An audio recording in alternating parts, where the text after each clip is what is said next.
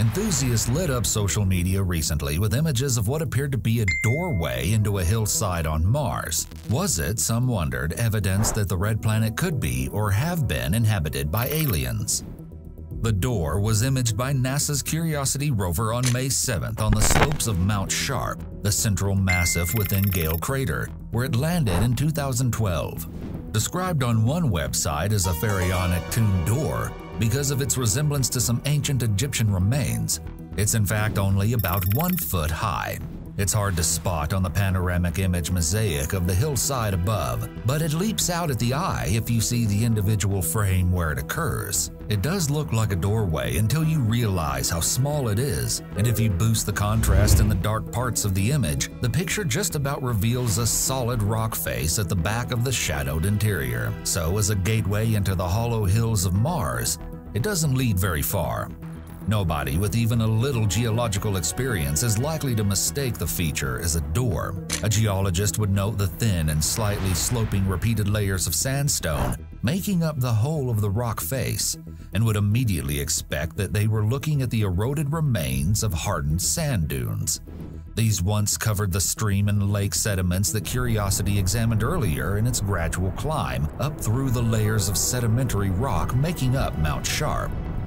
A geologist would also spot the steep and fairly straight cracks running up the rock face and recognize these as joints. These are fractures that typically open up when the weight of overlying rock layers is removed by erosion. There is a particularly obvious joint on the left of the door image, but several others can be made out, including one that forms the smooth wall that lines up with the left side of the door itself.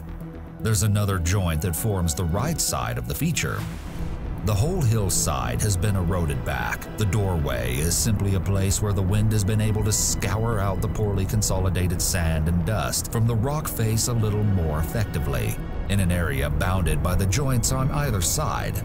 The base of an overlying bed of sandstone is the door lintel, and the sloping top of a bed of sandstone forms the gentle ramp that leads up to the door.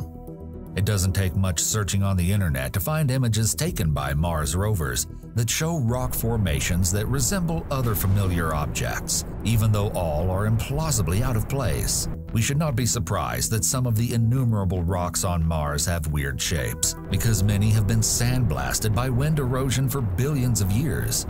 Apart from doors and bits of hardware ranging from wrecked spaceships and a jet engine to individual items of cutlery, images have also captured pyramids, numerous humanoid heads, dinosaurs, various bones, and even a squirrel. Only a few of these strange objects are real, and those are all junk that humans put there. The others lose their visual distinctiveness if seen at a closer range or from a different perspective. Seeing the familiar, even when it isn't there, is a phenomenon called pareidolia.